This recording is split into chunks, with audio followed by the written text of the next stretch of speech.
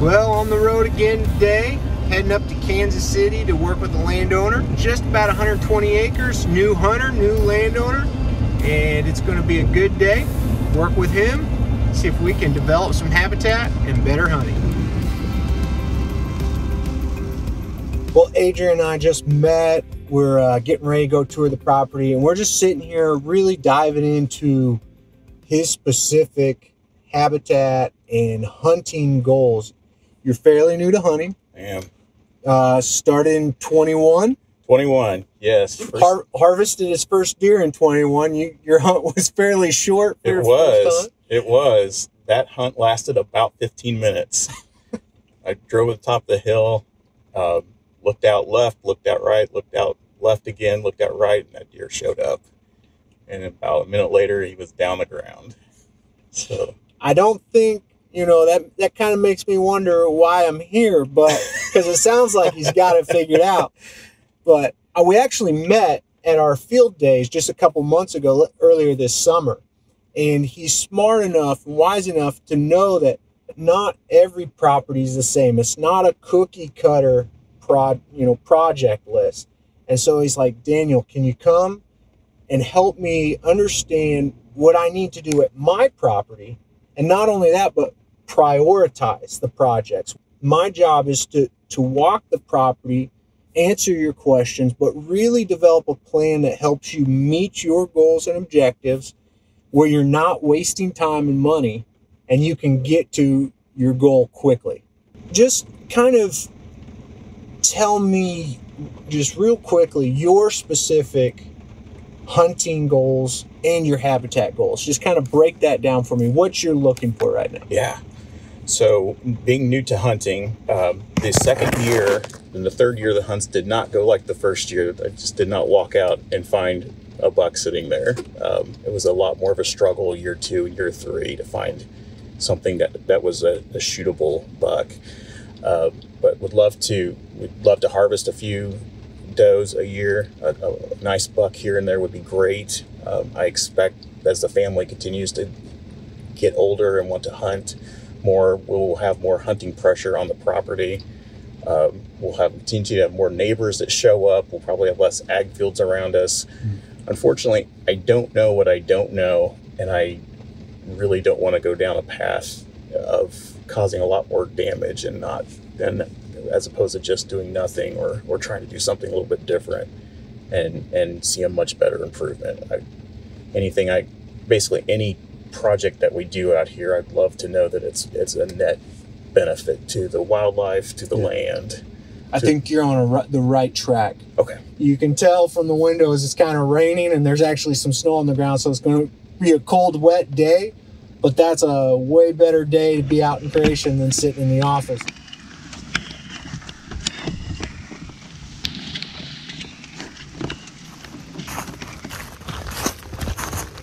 This is the this is the pinch point that I think I figured out Okay. after going through this, the field days. This is a great pinch point, and right there, I just see there's a rub. There's an old rub where they're kind of cutting across that corner, and the reason is you've done. He's done a great job identifying this pinch point. You're in Kansas City, Yes. nor- northern Missouri, right there on the Kansas line, and and as everyone knows, that habitat it's it's bottlenecks, it's pinch points, and that's what's key to getting uh, within range of deer. And this makes perfect sense. You've got this terrain, this this hill right here with this little draw, and then we've got a habitat change of this field. So we've got two habitat features coming together with some terrain, and then back behind this, we've got another drain. And so it just it just pinches deer down, and this was a great find. You you did good because obviously deer are moving through here, and we can see from tracks deer are cutting through here, rubs. The the problem here is can we effectively hunt it? Even though there's all this sign, can we effectively hunt it? And this is on a slope, and the thermals, cool air sinks. Like right now, if you watch our breath, if you notice at first it's kind of going up, but then it starts going down. Can you see that? I can. Oh yeah, it goes. But it, when you first blow out, it kind of starts going this way and then it goes this way. And that's because as we breathe, it's warm air. So it has kind of enough, just given the conditions today, to, to kind of start rising a little bit. But those thermals, that cold air that's sinking down this slope, is dominating and it's pulling our scent down. So how I would hunt this is this is definitely a thermal game. And we're just five minutes into the tour. And we may find better hunting locations, but right here, this is probably gonna be a tough one to hunt because the wind may want to swirl a little bit, especially with the creek behind us. Some that big open field, the wind may be ripping through there and then kind of hit this terrain and kind of do this. But on a day like today, where it's really cold and we know thermals are going to be coming down the slope and down this interior road. Think about this road. This is like channelizing wind, just sucking it down those thermals may just actually pull down. And if you hunt on the downhill side here and let deer cross above you, you may be able to effectively hunt this. But this is this is probably more of a thermal game for sure. Limited hunting days, and you just wait till the right conditions where, just like today, where we know exactly where our scent's going. That makes sense. If you want to go up this way, are we going this way? Let's head up. All right. No, right there. Yeah, I think that's it right there. Yep. All right, we just came to the edge of a small little hidey hole food plot, and there's two big locust trees. And I said, "What's your plan on these locusts?" And what did you tell me? Well, I'm going to kill them if I can. and wh and why do you want to kill them? They have uh, they have claimed four possibly five tractor tires and ATV tires at this point, and I'm pretty sure that we'll lose a few more this year. So, so he's popping tires. Locusts have a really big thorn, and you know they'll break off limbs and whatnot, and they get these big thorns. They pop a lot of tires, and I'm sure we'll get milk. But deer love locust pods. They love eating those, folks. Look at this. There's not a lot of food out here for deer and there's a pile of these pods laying on the ground. The, this is not feeding deer and providing high quality groceries for deer. So we're going to target these um, pretty aggressive species that are nasties and aren't providing high quality wildlife. They're taking our resources from other projects. We have to, you know, have breakdowns. That's time in the field. We're fixing tires. Lots of tires. So we're, we're going to terminate these trees and one way we're going to do that is we can either use the hack and squirt method or you can actually use a, a basal bark application where you take herbicide and you spray along the base of the tree. We have options. We know we need to terminate these trees and save some tractor tires, save some ATV tires, and make some habitat. That's right. All right, we've come up on a ridge and this is a big old oak that uh, you've actually had a stand in and have hunted a couple times. Tell me about your hunting experience here. Well, I'm 0 for 4 at the start. Um, we have uh, we hung that stand and it looked great. It faces east. It's uh, it's got a nice heavy tree that's against. It never moves around a whole lot. Lots of wildlife, uh, squirrels and stuff running around. Uh, but I walk up this hill and I can't seem to get up here without scaring deer. So three of the four times probably that I've been up here, I have scared off deer on the walk up. And surprise, surprise, they don't come back after yeah. I've scared them off. Yeah. I I really like this hunting location. Like there's a really good bottleneck here. We've actually got a really steep bluff right behind this tree. And and every deer you've seen has been out this way, right? And on this, this slope over here, because it the terrain is easier to travel. So it makes total sense why we would put a tree stand here. But it's not only a great hunting location, but it's how do you enter, hunt, and exit without alerting deer? And I think you've you've identified a great hunting location. We need to refine our approach and our exit and, and the conditions that we're hunting this location. That way we can have those encounters because deer are obviously moving through here. This is up on top of a ridge. The wind is going to be much more consistent here. And, and I think we talked about what kind of days you were hunting this, and Yeah. you said very little wind. Little wind. And so, even on those lower wind days, that even though we're on top of a ridge, those low wind days, that wind can kind of die down a little bit and drop one way or the other. So, probably some swirling winds under those conditions, just a little bit. So, we need to wait for those really strong winds that have consistent wind direction to carry our scent. And what we're actually going to do, this is a great little spot to put a little hidey hole food plot. And you can kind of see back around us here. There's there's enough opening up on top of this ridge. You can see around here. We're gonna we're gonna create a little hidey hole food plot, and we're gonna kind of give a reason for deer to come and go. And we're gonna put up some Moultries on these edges, and we're gonna learn which direction deer are traveling and when they're traveling. Is this an afternoon hunt where deer are, you know, coming from the north, they've bedded over to the north and they're coming here to feed in the afternoon where you can approach from the south without alerting them? Or is this a morning hunt? It may be a great hunting location, but it may be a better afternoon location. I think you said you hunted this a lot in the mornings In the mornings. Yeah. And and that may be that may not be true after we you know make the hidey hole we, and we change the habitat. But this is a great pinch point but we're really going to study deer movement and put that in into our trail camera placement and our overall habitat work and study how deer start moving through the property. Just we were talking about this off camera that he was telling me a lot of deer were, were coming from this way but I, I mentioned, I said, there's, we don't know why deer are, you know, coming from that direction. We're going to create these bottlenecks, these destinations and habitat features, and we're going to learn, you know, in a general sense, which direction deer are moving from food and cover during certain conditions, and then we can learn how to effectively hunt these locations.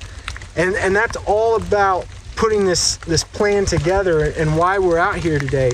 What what are you seeing so far from our from our tour? a lot of things that um, that I just hadn't considered. So, for example, if you ask the question, "What deer are the mo- what direction the deer moving up here?"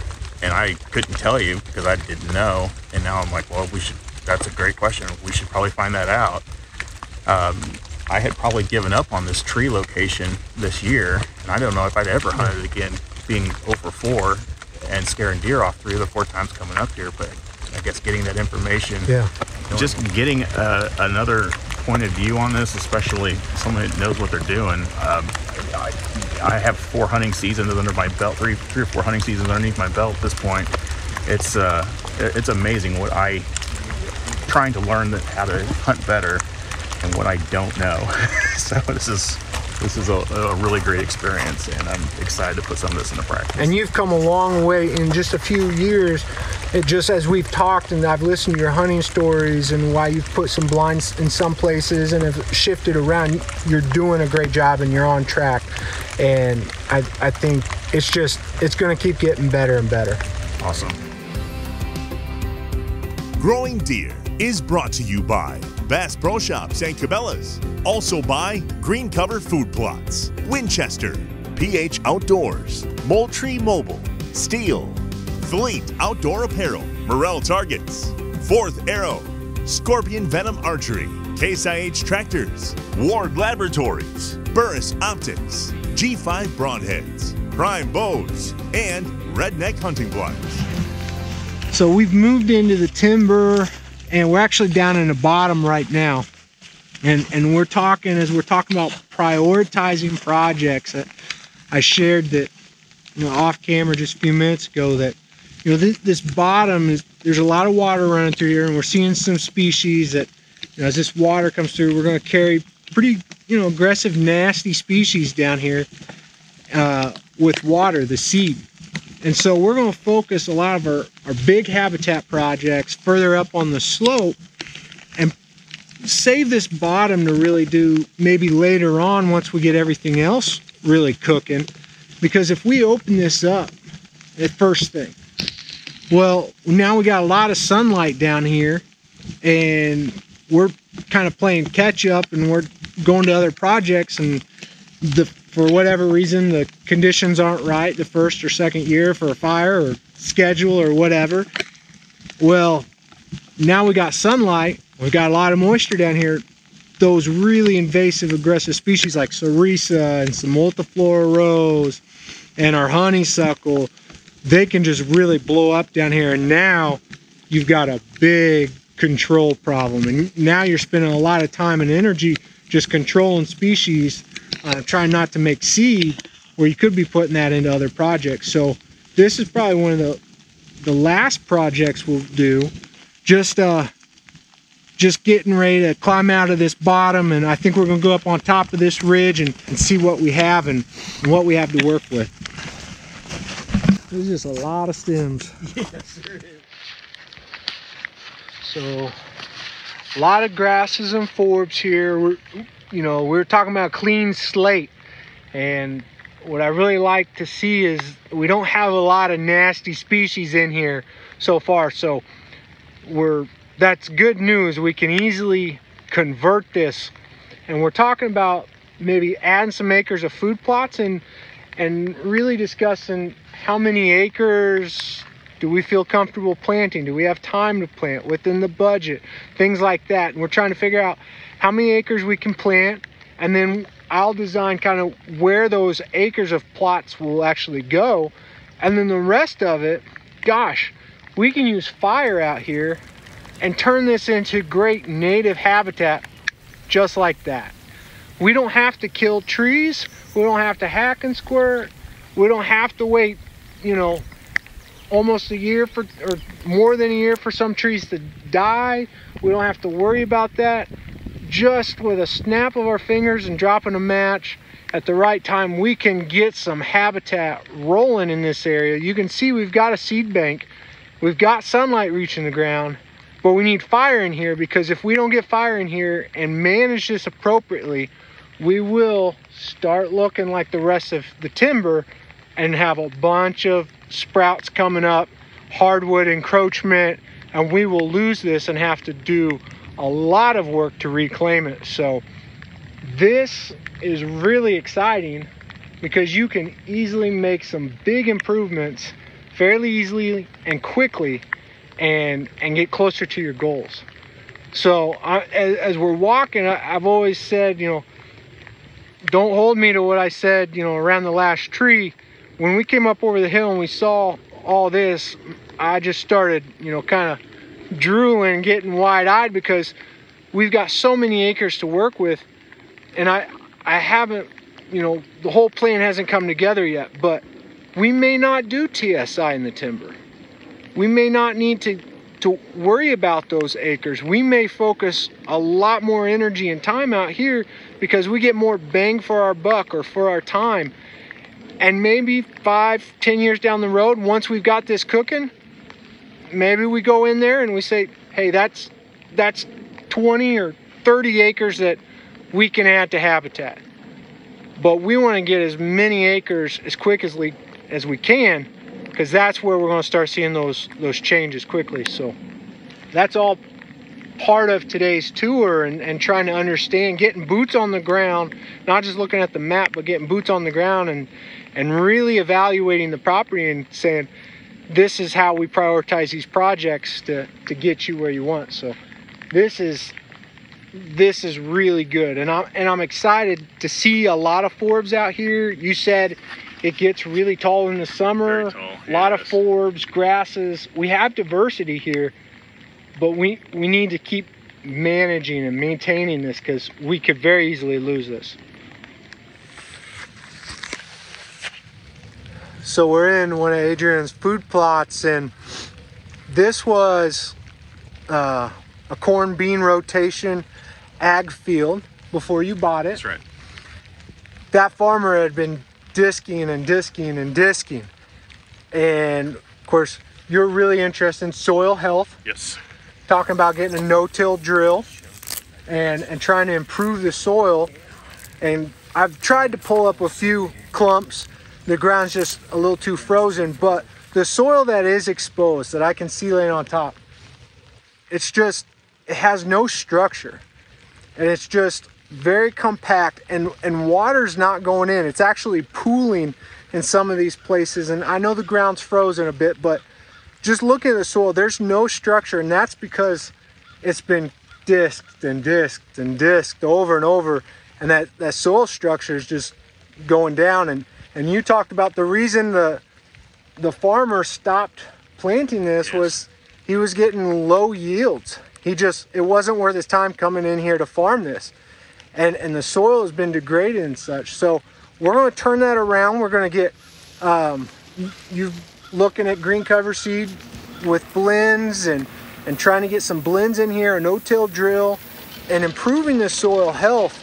So not only do deer have high quality groceries, but we can get those microbes working. We can hold soil. You, we talked about the drought this summer. Yeah, rough So, year. so many people had that you know wicked drought in the late summer, and their their fall crop just didn't you know come in.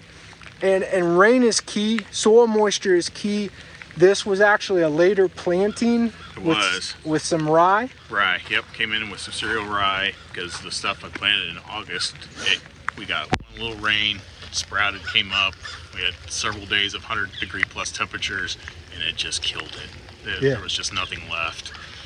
And to get what I could out of it, we cereal rye was available, and I just dumped it on there. Yeah. and it's done great. Cereal cereal rye it can be a great one to for those type of situations to fill in gaps.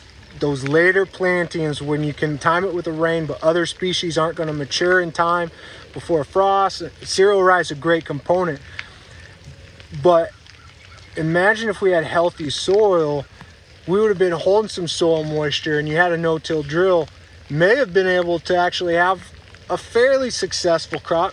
Still, still water is is key, guys. But if we can hold some soil moisture with healthy soil and good soil structure and microbes and get that biology working and, and have roots growing as many months out of the year in the soil, we can hold more water longer and we can get through some of those droughts that with this disc type soil that's just dead, it was probably just dry as concrete. Yes, that's exactly what I would describe it. It was like concrete. And then we didn't even talk about that, but I was just listening Exactly to right. knowing the drought and what this soil looks like. So just just know there's some great things coming. I, I'm super excited. This food plot's going to turn around. Um, deer obviously browsing in this because this this is food. We've got some ag uh, around us, but they've harvested the crops. You have some food here. It's obviously been browsed very heavily, so we know after the crops are harvested, food is king. And if we can have the best food plots in the area, best food source, we were talking earlier, muzzleloader season may be some great hunting and may, maybe some of your Yeah. best hunting. Because if you have the best food sources during the late season, muzzleloader, the alternative season here in Missouri, that may be some of the best hunting to come. So this food plot, ladies and gentlemen, this is going to look very different here in a couple of years because you're gonna you're gonna turn this around and this this is gonna be awesome.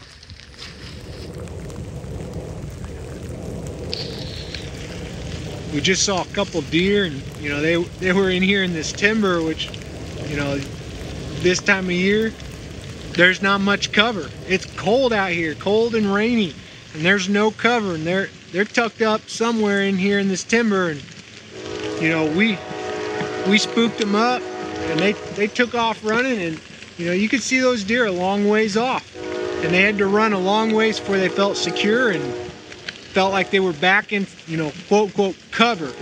So our plan here is you know this, this timber's a little different. Wasn't obviously probably logged as hard as the other portion of the property. As you can tell there's there's larger trees here larger oaks um, actually some hickories and oaks and different species in here and they're they're more mature but the terrain is much steeper and it's harder to log so we have more species larger trees this area is going to be easier to do hack and squirt we can cover more acres terminate some trees get a lot of sunlight to the ground quickly and make some habitat where those deer, when they're seeking cover this time of year, these cold winter days, they're gonna have it. But we're still a few years away, but it's coming. Don't you worry. We're finding so- a lot of sign, a lot of scat, a lot of rubs, scrapes. There's scrapes that are open. Of course, we're post rut, after the peak of the rut, but you know, fawns can become receptive when they reach 65, 70 pounds. Um, you know, scrapes can still be used year round. They can be used right now. Some of this sign is in areas we just can't effectively hunt. It's just, it's off the side of the slope or, you know, like this little ridge. There's a heck of a trail coming up this ridge, but it's just, it's difficult to get in here and effectively hunt. So let's, let's make some habitat back here and then let's get up on top of this ridge where we can enter on a good wind and we get off one side or the other. We know exactly where our wind's going, especially when we open up these trees and we can allow that wind to, to move through here more freely and not just swirl around tree to tree. That wind's gonna be more consistent when we open this up and uh, let deer let deer feel comfortable where they are. And then we're hunting these edges where we can effectively get in and hunt. Let those deer come in, get within range, and uh, that's how that's how we're putting this hunting plan together given the terrain and habitat especially in this area but lots of deer sign and uh, super excited to see what's to come there's a rub right there Oh, there is. i mean you could set a blind up there and Yeah. close it off for firearm hunting and you probably catch deer crossing right in right in through here Yeah. just finishing up today uh real quick just like the top one or two Yeah. things through the day that just kind of was the eye opener for you Yeah. or that really resonated for where you're going and looking for Well, it was putting effort where it's probably most needed. And Yeah. my plan coming out here before I had a chance to talk with you had me putting a lot of effort into areas that probably weren't the most effective.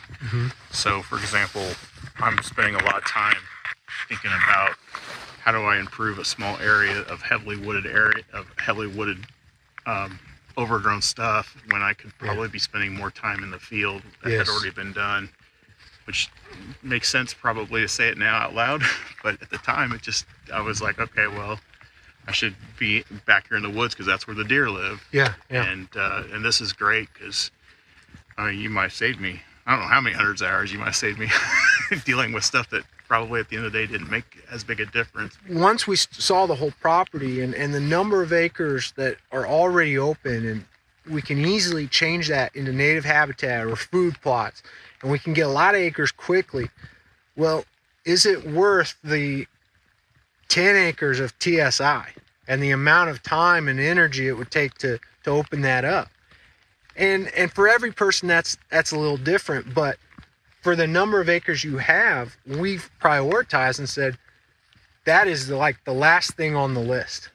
You could sit back for 10 years and if you say, "You know what? I just need something to do today." That's that's on the list. Go do that. But is it going to move the needle?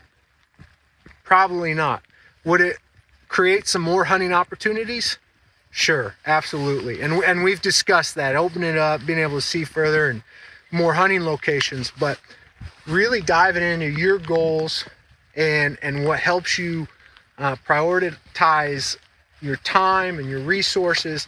I think that was one of the big takeaways today. And of course, it doesn't end today. You and I are going to be right. talking. I've, I'm going to make him a map, and we're going to go over this map, and then he's he's got my phone number and email, and we're going to be talking for years to come about this habitat project as, as he knocks out projects.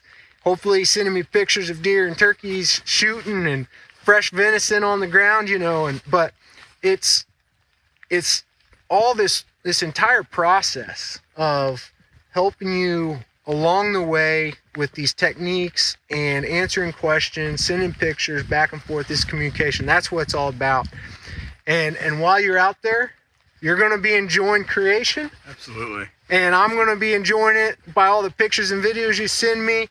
And hopefully, we'll be back here to share an update uh, down the road. But, you know, we've had a great day today, and I hope you're able to get outside this week also and just enjoy creation. Maybe look over your property, try to design some habitat improvement projects.